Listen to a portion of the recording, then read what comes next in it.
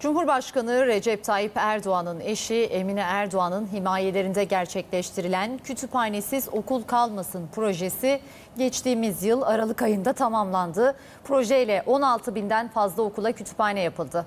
Binlerce yeni kitap dağıtıldı. Projenin 2022 hedefini ise Milli Eğitim Bakanı Mahmut Özer açıkladı.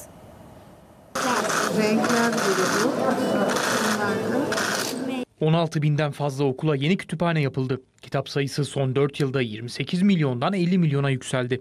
Veriler Milli Eğitim Bakanlığı'nın kütüphanesiz okul kalmasın projesinden.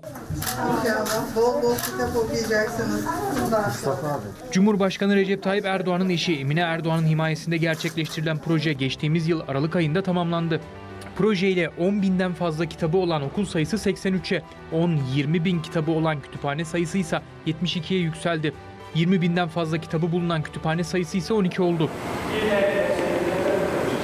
Milli Eğitim Bakanlığı okulların kitap sayılarına ilişkin verileri de paylaştı. İlk sırayı 80 binden fazla kitapla Galatasaray Lisesi aldı.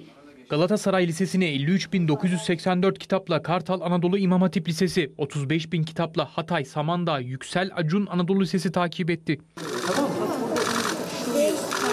Milli Eğitim Bakanı Mahmut Özer 2022 yılı hedeflerine de değindi. Kitap sayımızı 100 milyona çıkartmayı hedefliyoruz ifadelerini kullandı.